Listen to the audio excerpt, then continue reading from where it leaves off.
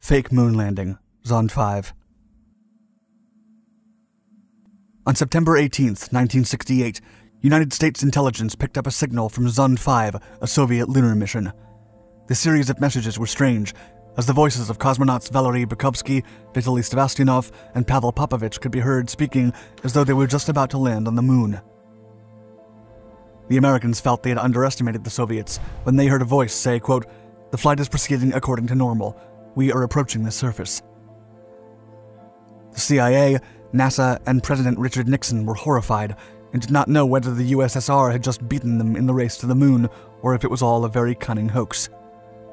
In the end, it turned out to be a little bit of both. In 1968, almost a decade had passed since the Soviets had taken the world by storm with the Sputnik launch. But their days of glory were behind, as NASA had grown strong and was already developing its Saturn V rocket. Still, the USSR was not willing to give up so easily and developed two programs to land a man on the moon.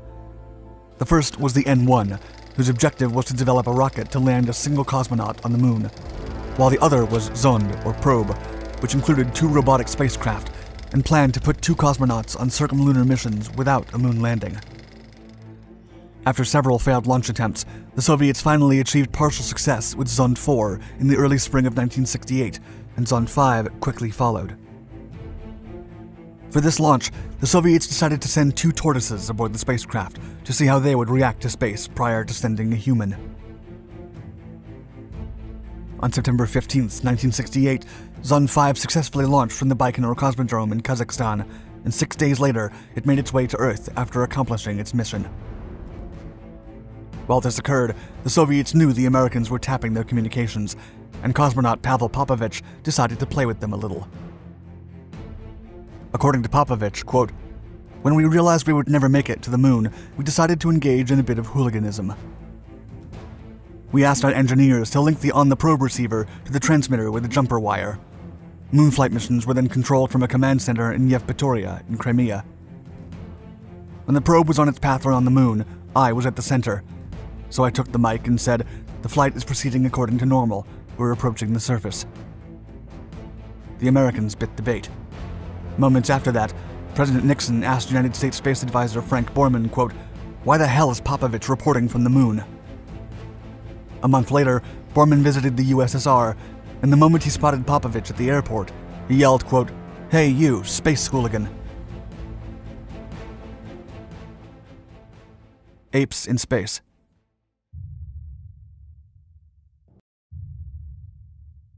As incredible as it sounds, it's said that the Planet of the Apes movies might have inspired astronaut Scott Kelly's master prank aboard the International Space Station.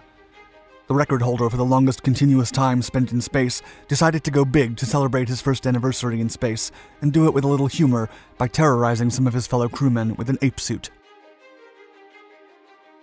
Kelly arrived at the International Space Station in March of 2014 with Russian cosmonaut Mikhail Kornienko as part of an experiment that aimed to study how the human body changes during an ultra long spaceflight. Although similar studies of this nature had been conducted before, this was the first time a study was focused on analyzing the effects on a genetic level. Before Kelly's trip, scientists had already been studying him and his identical twin brother, Mark, also a NASA astronaut.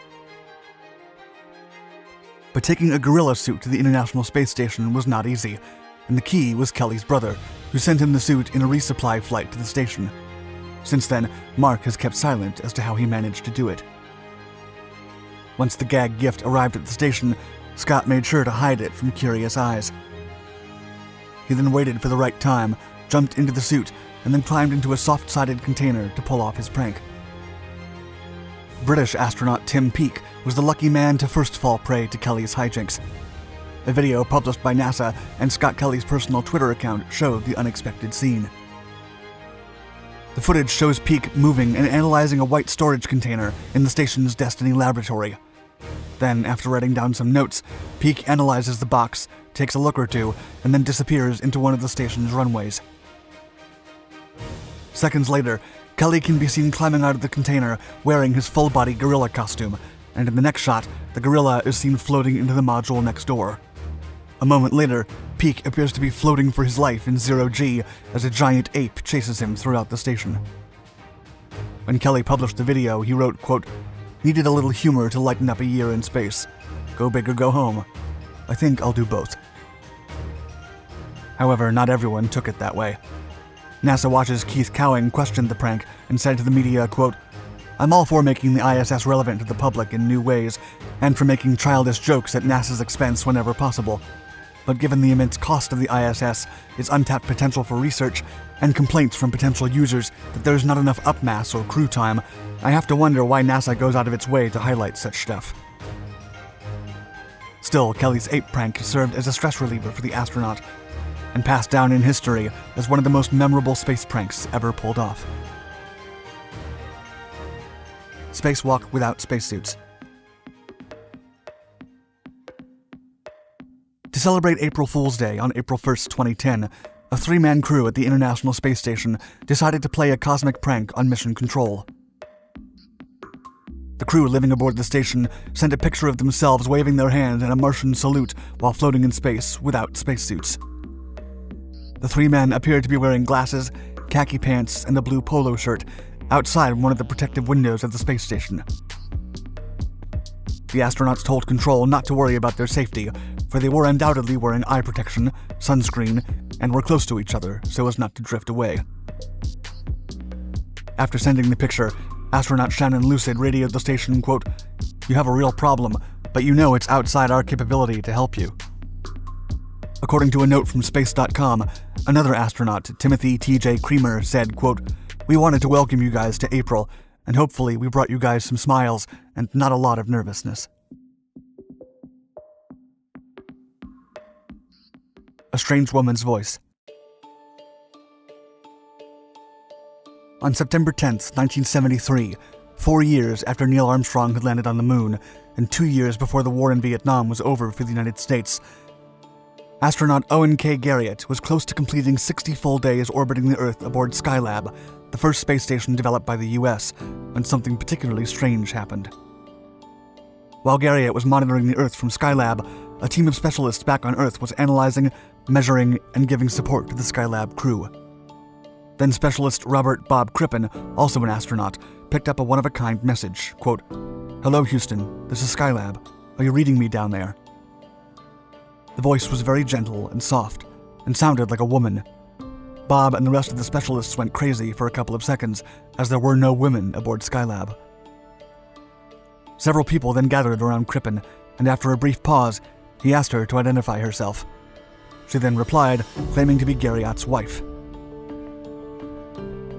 A pause followed, and Crippen asked her what she was doing over there, to which she replied, quote, Well, we just came up to bring the boys a fresh meal or a hot cooked meal. They haven't had one for quite a while. We thought they might enjoy that. A bigger crowd gathered around Crippen, and the voice continued, quote, Well, I see the boys are floating in my direction. I gotta get off the line. I'm not supposed to be talking to you. See you later, Bob. After the initial shock, Houston realized it had all been a very cunning joke. To pull it off, Garriott had recorded his wife and marked pauses for every statement to give Crippen, who was in on the joke, enough time to say something. It was not until a decade later that Garriott told the media how he was able to pull off the hoax, just around the time that NASA put its first female astronaut into space. Her name was Sally Ride. Moon Cockroach. During the Apollo 12 mission preparations, a very special guest refused to leave the command module that the crew would use while in space. It was a very insistent cockroach. Launch director Bob Sieck resorted to an array of tricks to get rid of the intruder, but the cockroach refused to leave the spacecraft. Sieck was mad, but eventually forgot about the insect and got on with the mission. Then, after the successful mission on November 14, 1969, the crew had a televised press conference. During the interview, Commander Charles Pete Conrad Jr. showed a strip of white cardboard with a small black object on its surface. It was the infamous cockroach. One of NASA's engineers then asked him, quote, You found him, huh? To which Conrad replied, quote, We sure did. He was in the food locker. He's very fat. Conrad later admitted that what he showed was a joke, and the cockroach was a plastic toy he had taken with him for the mission. No one ever knew what happened to the real cockroach in space. Thank you for watching my video. Please like and subscribe to our Dark Documentaries channels to find more exciting historical content. And let us know in the comments below of any other curious space pranks that you might have heard of.